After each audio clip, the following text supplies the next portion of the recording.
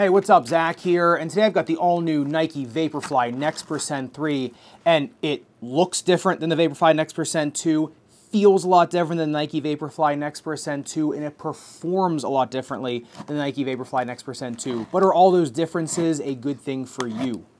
Let's get into it. Now, straight away, my favorite part of the Next Percent 3s is their uppers. I, I, feel like they've engineered these almost just perfectly for like a really fast racing shoe.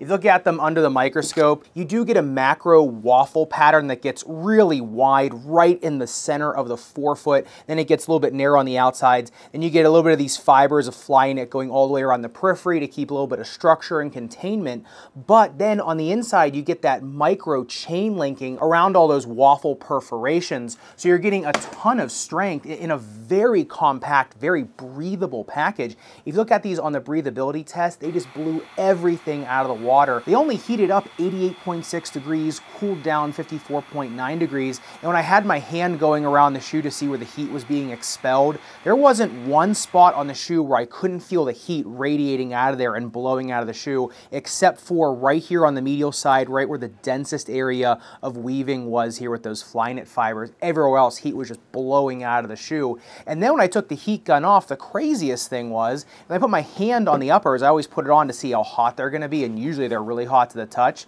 These were like lukewarm to the touch. They cool, after about 30, 45 seconds, they were still cool to the touch.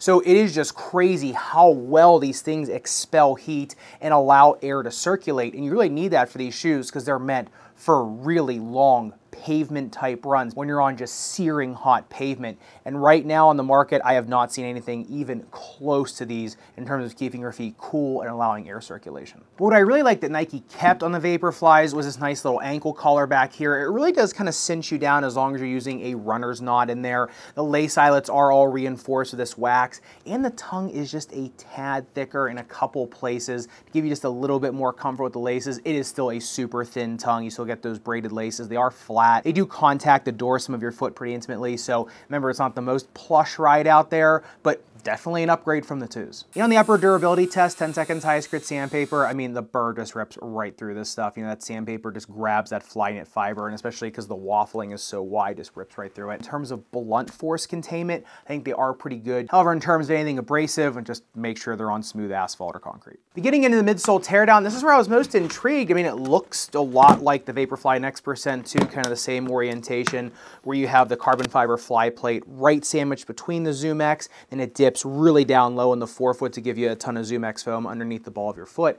However, it's what the ZoomX foam is made of that's the big difference. A much more pillowy type ZoomX foam, a lot softer. It does not feel like styrofoam or packing peanuts under your foot like some other Pebax or Peba type products or nylon type products do. It almost feels like a super, super soft EVA blended with ZoomX. So you're getting a little bit more plush comfort, but with similar performance to previous versions of ZoomX. If you look at these on the single leg jump height test, 20 centimeters of single leg jump height on these. And then on the bounce height test, I got 37.5 centimeters in the heel, which doesn't seem that great compared to some other ZoomX products. However, remember it is because that carbon fiber plate is right underneath there and that just doesn't give you a lot of bounce. You go into the forefoot and got 45 centimeters of bounce height on these. So it just shows you the more ZoomX you have underneath that ball bearing, the more bounce you're gonna get. And then in terms of jump force or cantilevering, that full length plate, that full length fly plate in there is just tremendous. Even when just trying to generate force from static stance on one foot. But when you look at the periphery of the midsole in Next Percent 3, that's where you can really tell the design differences between the twos and the threes.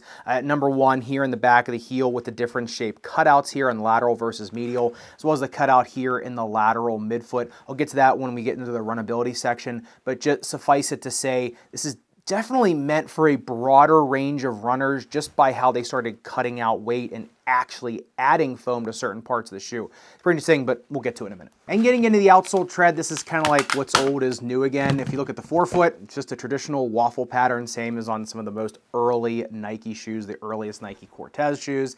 And then in the rear foot, you actually get like a rumble strip pattern or a step down pattern, especially on the lateral side, but also medial side. And that's designed for more of a heel striker, at least a more posterior midfoot striker, because you come down on the highest plate of rubber and you start stepping down as your foot rolls from heel to midfoot into the forefoot, which, you know, shows you where these shoes are going from the twos into the threes. And I like that pattern because number one, it's able to save a lot of weight in rubber, right? You get a lot more cutouts, a lot more airflow in there. Your foot is just contacting less rubber as you're going through the gait cycle. And as we know, contacting the ground less leads to better performance, you know, less injuries and just, you know, faster speeds. And speaking of speed, if you look at them on the speed ratio, they came in at 5.41, which, I mean, these aren't even playing the same sport as other shoes. I mean, this is just blowing everything away. I, I thought I had a shoe earlier in the week that had a crazy speed ratio. This just knocks them completely out of the water. Now, number one, that is, you know, the bounce to weight ratio of the shoe.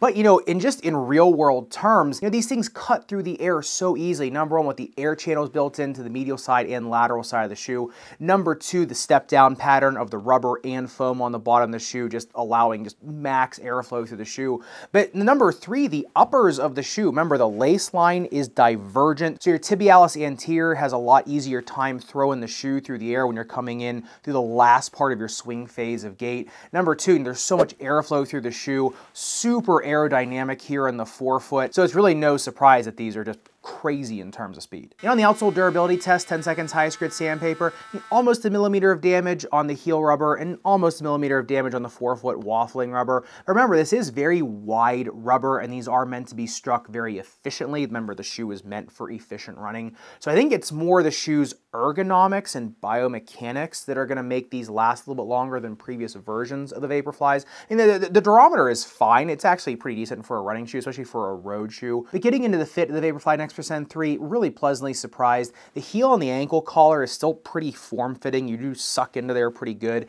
However, once you get past the midfoot, the shoe really does open up a lot more. Now, it still does have an in-flare on the forefoot for sure, but much more forgiving forefoot. So a narrow medium, even a wide foot, I think just go true to size on these. A 2E, I think, can break these in, especially because the Flyknit is pretty accommodating. The waffle pattern is pretty wide. In terms of the snake bitten foot, really anything ball of foot related, these are tremendous tremendous for. However, the rear foot of these is still a tad unstable unless you are a very elite heel striker or kind of other type strike patterns, which we'll get to in the runnability section. But suffice it to say, you still might get a little bit of wobble if you're not an elite runner on these in, in terms of heel striker. So I think anything kind of heel related, Achilles related, if you are a forefoot striker, I think these are fine for. Anything else, yeah, like I said, you can try to get a custom orthotic in these, a razor thin custom orthotic, but um, maybe just look somewhere else. You know, like I said, these are meant for racing. They are meant for speed. They're not necessarily meant for like your daily comfort trainer. And speaking of all the snake bites you can get from running, training, really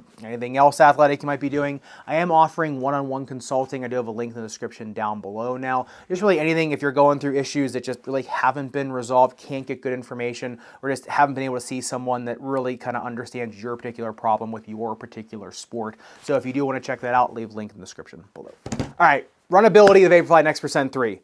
Uh, this is going to make some people really angry, I think, with Nike, and other people, I think, are going to absolutely love it. Because the Next Percents have always been like a really elite running type shoe, even on, printed on here. The original super shoe designed for podiums and PRs built to world standards. Now, most people, when you talk about that, you're talking about a super efficient forefoot striker or very distal midfoot striker, right? Well, these are designed to allow people with a more midfoot, posterior midfoot, or even a heel striking gait to get into Nike's Super Shoe lineup. You can tell, I mean, it's just, you got clues all the way around the shoe.